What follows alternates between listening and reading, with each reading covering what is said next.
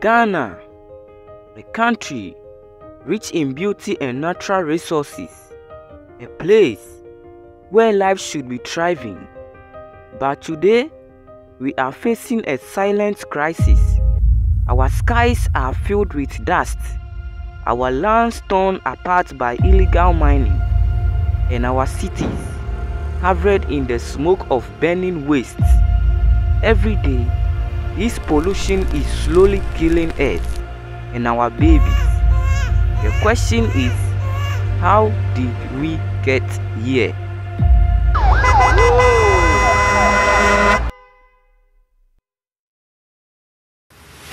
Ghana, a country rich in natural resources, vibrant cultures, beautiful landscapes, and the first country to gain independence in sub-Saharan Africa. Join we as we rover through this country with stories, development, and adventures. Are you ready? You are now tuning into Genecardo.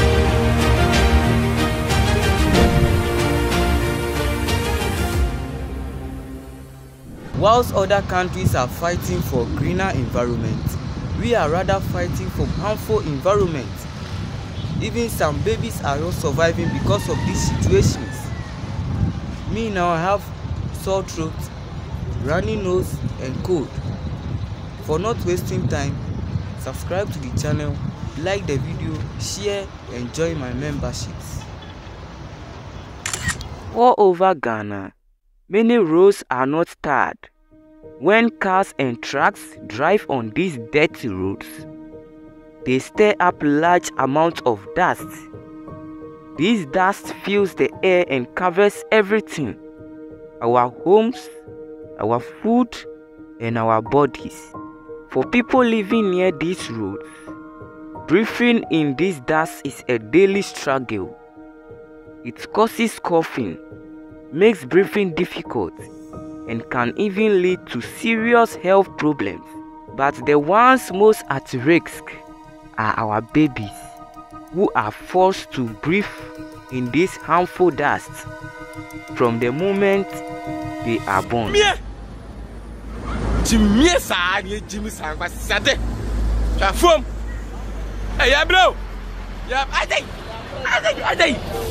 mm hwɛ fam hwɛ fam hwɛ hwɛ hwɛ hwɛ hwɛ fam ti mie a. In places like Agbogbloshie, people burn old electronics, computers, phones, and wires to extract valuable metals like copper, aluminium, and etc. But what's left behind is far more dangerous. The toxic smoke from burning plastic and metal fills the air with deadly chemicals like lead and mercury. These poisons don't just disappear, they settle in our communities, our water, and the very air we breathe. Most of this e-waste comes from the United States and the UK, often shipped for free as discarded goods. And who suffers the most? Our children, whose small lungs can't fight the deadly fumes.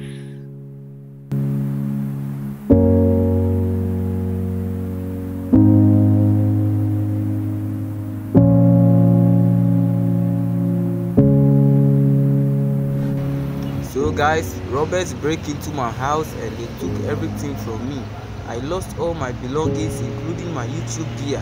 So if you can support me with a camera, a phone or a laptop, it will be muchly appreciated. I will leave my Instagram in the description below so that you can chat me. Thank you for always watching my videos. Galamsey was once an opportunity for people to make a living has now become one of the greatest threats to our land and our health. Illegal mining destroys our forests, poisons our rivers with chemicals like mercury, and leaves behind barren wastelands. But what most people don't see is the damage it causes to the air. The dust and chemicals released during mining contaminate the very oxygen we need to live. We are choking slowly, quietly, every day. You can never buy a land in China, but here is it Africa. This is Africa, my brother. Welcome to Africa. The whole of this big land has been destroyed by them in the aim of digging for a gold. They dig, in Chinese we say Huangjin. They are digging Huangjin over here. I asked most of them, why are you guys doing this? They said, because African people did not know that there is gold here, so they are here to discover it for them. You understand?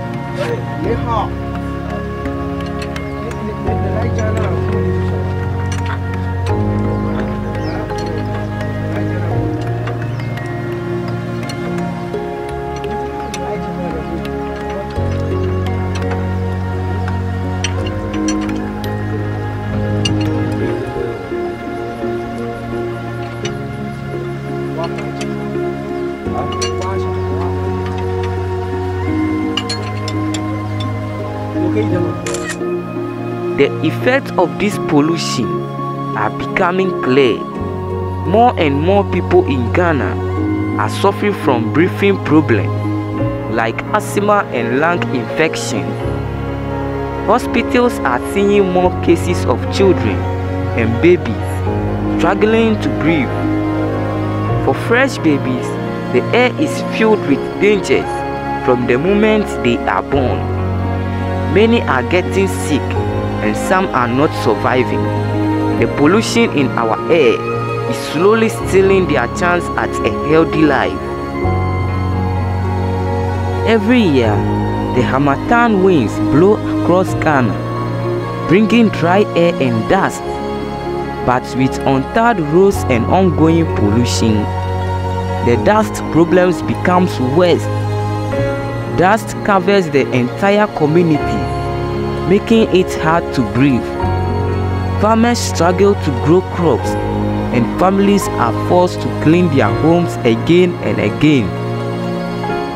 But the biggest dangers comes from breathing in this dust, which can cause serious lung problems, especially for babies and young children. Across Ghana, people are calling for change. Activists want to end galamsey and improve roads, while communities and chiefs are pushing for tree planting and safer waste disposal.